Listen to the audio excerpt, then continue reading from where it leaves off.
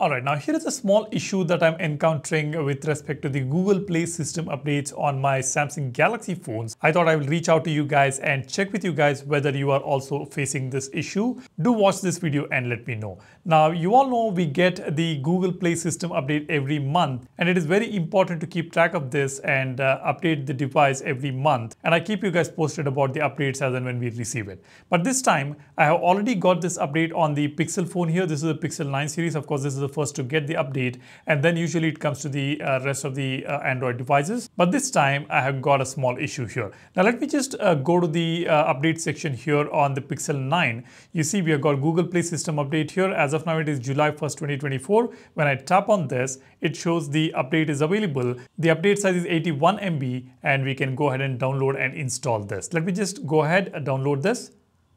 Now the update has been downloaded, we can go ahead and restart the phone to install these updates. Now, coming to the other two devices here, this is Galaxy S24 Ultra, this is the Galaxy S23 Ultra. Let me just go to the settings here. I will tap on security and privacy.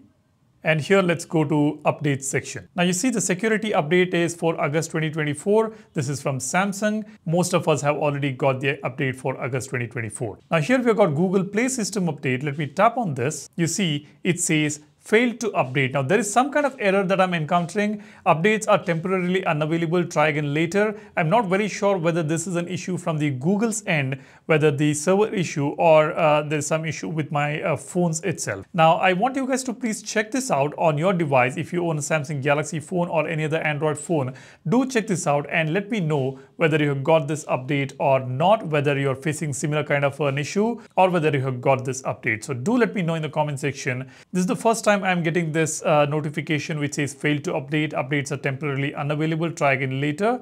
Like I said, this could be an issue from the Google's server. So I thought I will just confirm with you guys. So let me know in the comment section. Now in the coming days, if these updates are available, I will keep you guys posted if it works on my phone. For now, I'm not able to download this. However, on the Pixel 9 series, we have received the Google Play System update for September 2024.